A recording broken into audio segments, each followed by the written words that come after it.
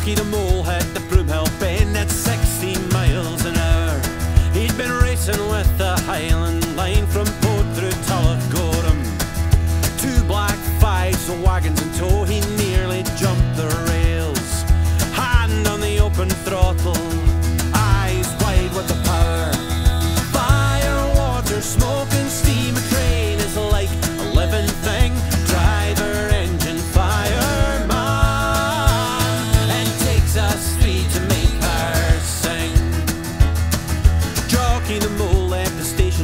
Out across the Muchter Pass.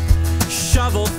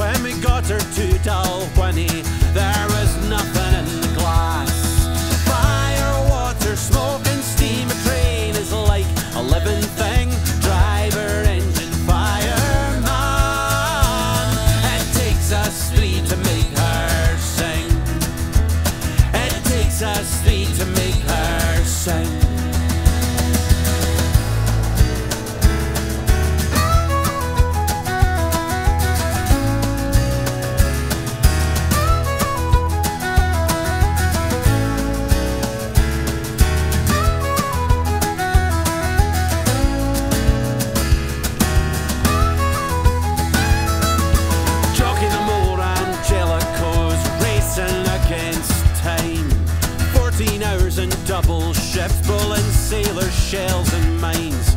Seven days a week, supplying the fleet, nearly sleeping on the plate. As they roared through every signal,